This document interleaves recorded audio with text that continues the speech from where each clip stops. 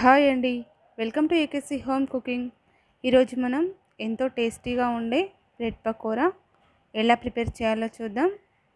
దానికి కావలసిన ingredients four bread slices ఉడికించిన బంగాళదుంపలు రెండు ఒక కప్పు శనగపిండి హాఫ్ కప్ తరిగిన ఉల్లిపాయలు కొత్తిమీర మూడు పచ్చిమిర్చి తరిగినవి త్రీ టేబుల్ స్పూన్ టమాటా కచప్ వాము ఎండు కారం పసుపు ఉప్పు వంట సోడా.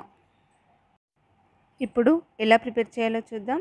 ముందుగా ఒక బౌల్ తీసుకొని వన్ కప్పు శనగపిండి తీసుకోవాలి.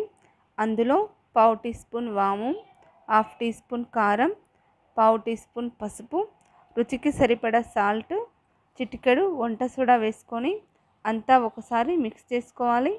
ఇలా మిక్స్ చేసుకున్నాక కొంచెం కొంచెం వాటర్ యాడ్ చేసుకుంటూ పిండిని ఉండలు లేకుండా బజ్జీలు పిండిలాగా ఈ విధంగా కలుపుకోవాలి.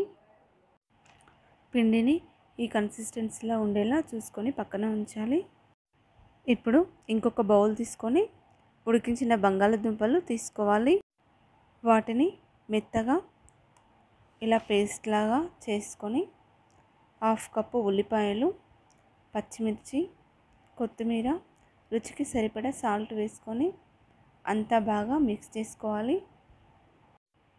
ఇలా అంతా మిక్స్ చేసుకున్నాక ఒక బ్రెడ్ని తీసుకొని పైనుంచి టమాటా కచప్ని అప్లై చేసి దానిపైనుంచి ఆలు మిశ్రమాన్ని ఈ విధంగా అప్లై చేసుకోవాలి.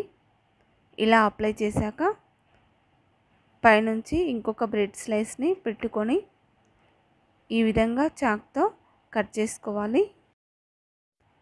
మళ్ళీ ఇంకొక బ్రెడ్ని తీసుకొని పైనుంచి టమాటా కచప్ అప్లై చేసి దానిపై నుండి ఆలు మిశ్రమాన్ని అప్లై చేసి ఇంకొక బ్రెడ్ని పెట్టేసి చాక్తో ఈ విధంగా కట్ చేసుకొని మిగతా అన్ని బ్రెడ్స్ కూడా ఇలాగే కట్ చేసుకొని పక్కన పెట్టుకోవాలి.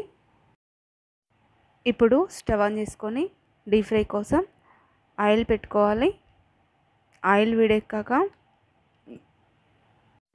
కట్ చేసిన బ్రెడ్ని ఇలా పిండిలో ముంచి ఆయిల్లో వేసుకొని డీప్ ఫ్రై చేసుకోవాలి. ఇలాగే మిగతా బ్రెడ్స్ని కూడా పిండిలో ముంచి ఆయిల్లో వేసి డీప్ ఫ్రై చేసుకొని ఒక ప్లేట్లోకి తీసుకోవాలి. చూడండి బ్రెడ్ పకోడా రెడీ అయిపోయింది. ఎంత చక్కగా ఉన్నాయో కదా. ఒకటి కట్ చేసి చూద్దాం. చూడటానికి చాలా బాగుంది కదా. టేస్ట్ కూడా చాలా బాగుంటుంది. మీరు తప్పకుండా ట్రై చేయండి. మీరు ట్రై చేసి మీకు ఎలా వచ్చిందో నాకు కామెంట్ చేయండి.